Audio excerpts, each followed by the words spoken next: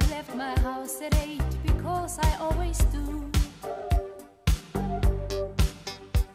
My train, I'm certain, left the station just when it was two. I must have read the morning paper going into town.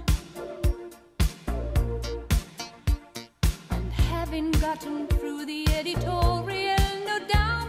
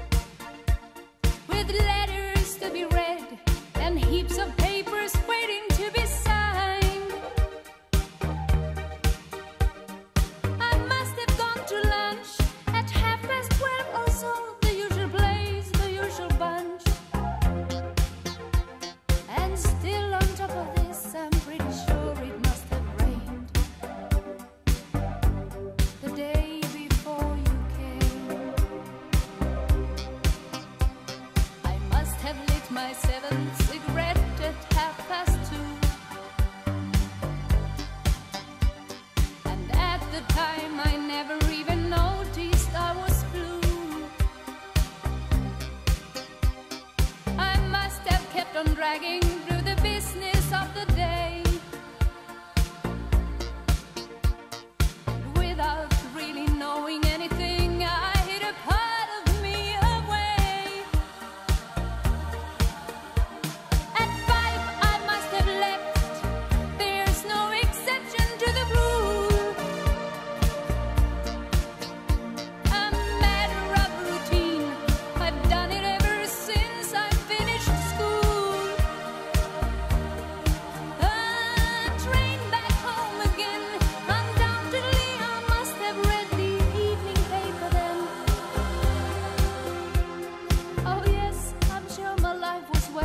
its usual frame.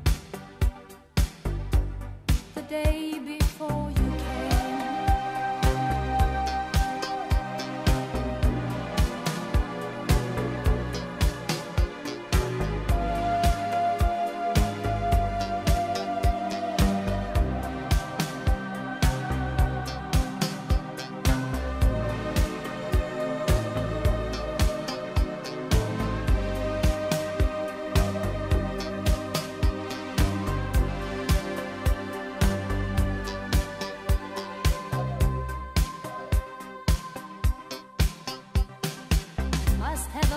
my front door at 8 o'clock or so. And stopped along the way to buy some Chinese food.